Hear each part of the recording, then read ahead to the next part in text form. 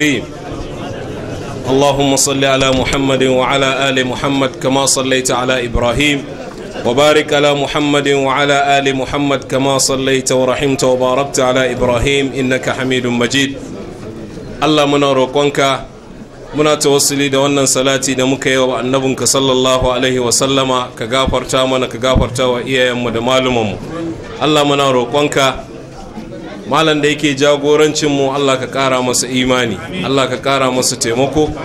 Wannan jagoranci da yake mana allah ka sa ya jagorance mu har gidan aljanna. Ya ubangiji muna roƙonka ka ƙara haskaka masa hanyar bi ka taimake shi ka taimaki mataimakansa ka ƙara ba mu ikon yi musu da'a yadda Allah yake so yadda da shi. Ya ubangiji muna godiya gare ka da ka ba mu iko muka gabatar da waɗannan zaɓuɓɓuka lafiya.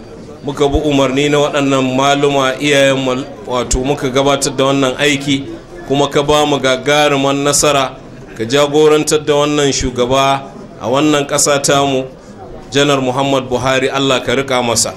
Allah ka riƙa masa. Allah ka ba shi mashawarta na ƙwarai Allah ka ɗora shi akan daidai. Allah muna roƙonka ka ƙara faranta mana zuciya a sauran zaɓuɓɓukan da ke gabanmu. Ubangiji muna roƙonka malam da yake faranta mana zuciya a duk lokacin da muka sami irin wannan alkhairi yake wannan walima. Allah ka saka masa da alkhairi. Allah ka sa wato ya zama guziri ne na shiga aljanna. Allah ka rayar da wannan gida.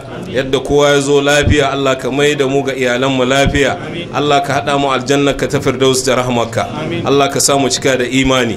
Rabbana alayka tawakkalna wa ilayka anabna wa ilayka al-masir. Rabbana amanna bima anzalta wattaba'na ar-rasul faktubna faktubna ma ash-shahidin. Subhana rabbika rabbil izzati amma yasifuna wa salamun ala al-mursalin. Walhamdulillahi rabbil alamin.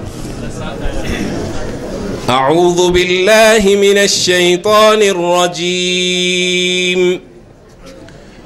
بسم الله الرحمن الرحيم. ألف لام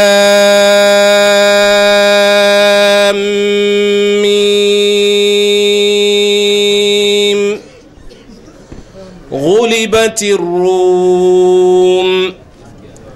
في أدنى الأرض وهم من بعد غلبهم سيغلبون.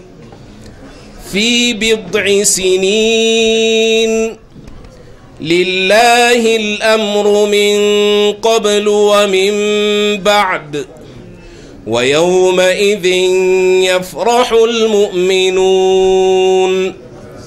بنصر الله ينصر من يشاء وهو العزيز الرحيم. وعد الله لا يخلف الله وعده ولكن أكثر الناس لا يعلمون. صدق الله العظيم.